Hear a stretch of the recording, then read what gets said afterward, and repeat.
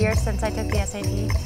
Just kidding, it's been a really long time. To keep their negotiations blank, the leaders of rival groups in the country arranged meetings that were blank. There's a word that I totally don't recognize, abstemious.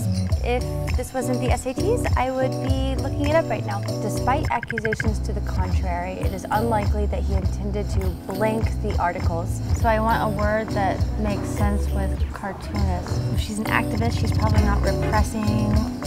Check answer. I got a smiley face. I feel like a genius. This is fun.